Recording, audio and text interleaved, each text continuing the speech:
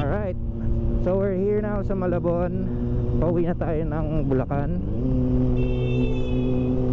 So it's around 5:25 p.m.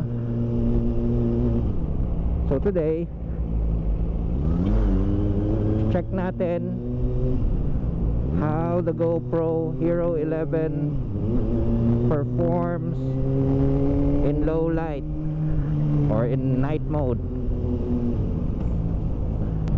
So ipopost ko na lang dito kung ano yung settings na ginamit ko. Ayun and tell me your thoughts kung tama ba o ma- mas, mas may magandang settings. So on ko na lang tong ulit yung camera kapag madilim na. Thank you.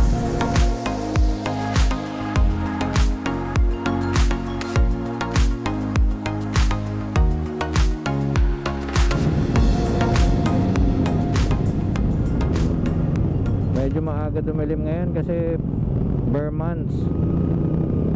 Napansin natin pag bare months medyo maaga lumubog yung araw.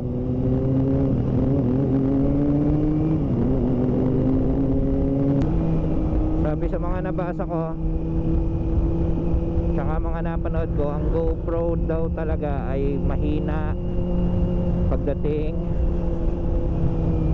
sa low light pero with the right settings medyo kaya mong in-arrow yung gap na yon with compared with vlogging cameras.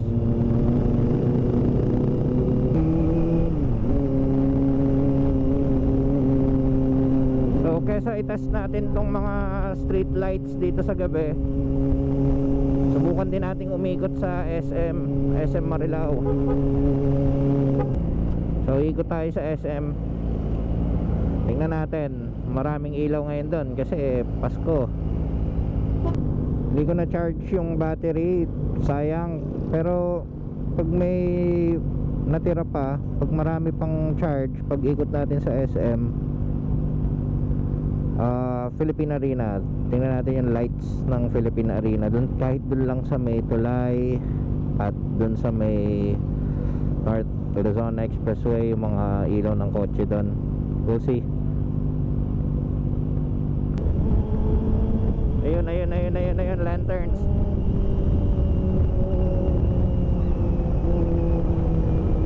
Alright Merry Christmas!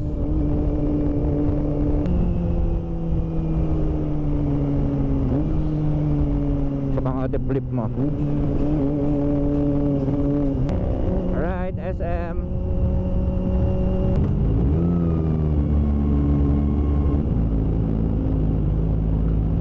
Sir, wala namang kapartin yan eh. Thank you.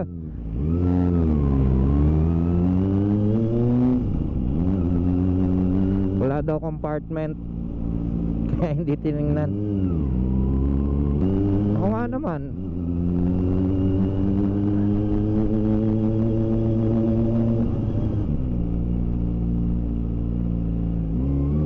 Iingay tayo sa SM.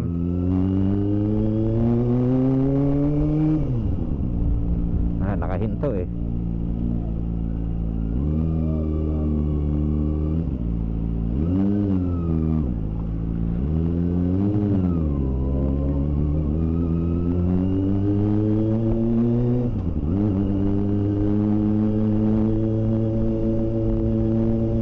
Isang ikot pa.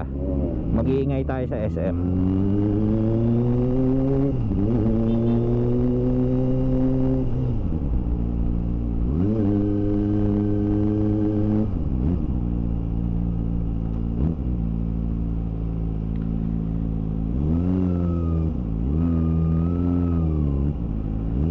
Ah, dito na pala yung LTO sa SM. Oh, doon sa likod.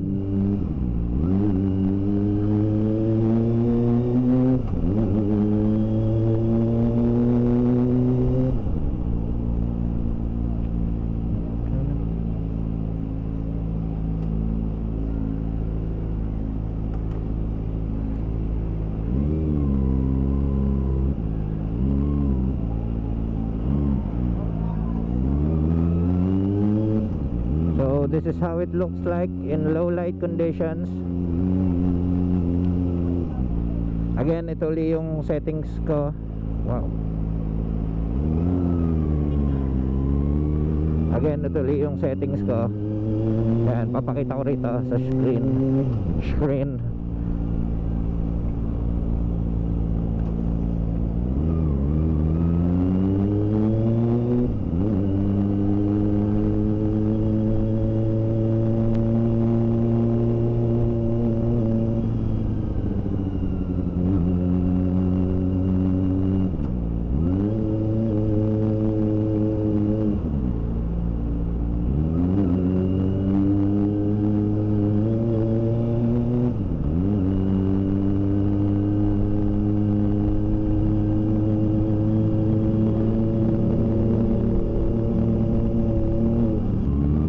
Ikot-ikot lang tayo.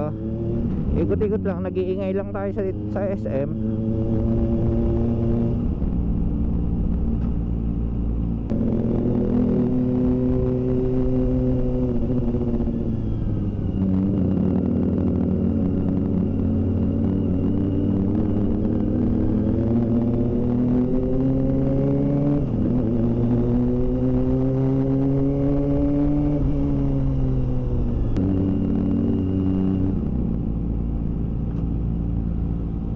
Enough of SM.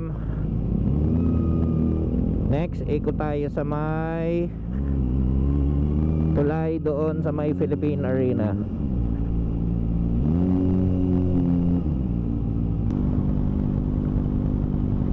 Ako personally, I've been watching yung mga night yung mga low light settings ng GoPro ganun kasi not all nung biyahe mo puro daytime eh. Not all nung pwede mong kuhanan na magagandang scenes nasa daytime. So better kung nag-experiment ka din ano ba yung pinakamagandang settings para sa'yo? So your camera may be different models pero depende lang sa setting yan. Setting hindi nagkakapare-parehas So depende yan sa adjustment mo.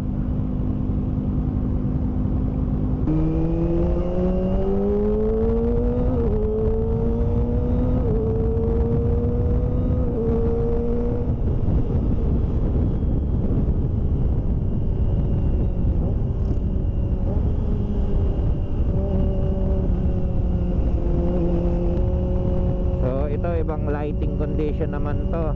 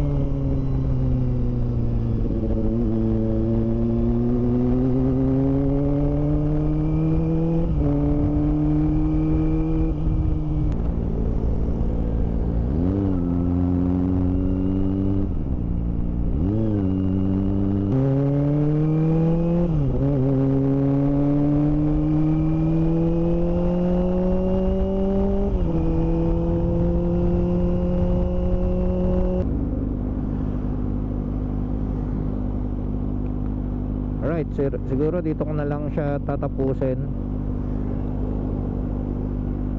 I think you've seen everything, different lighting conditions. From talagang madilim, yung mga ilaw lang ng poste.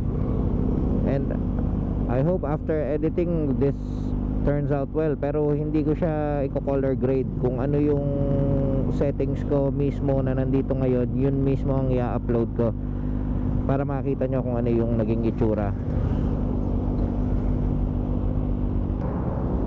This is the North Luzon Expressway.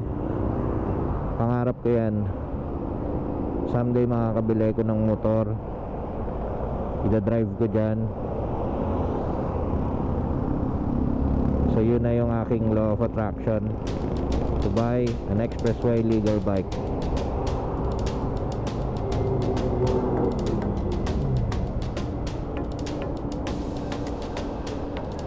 Alright guys, thank you.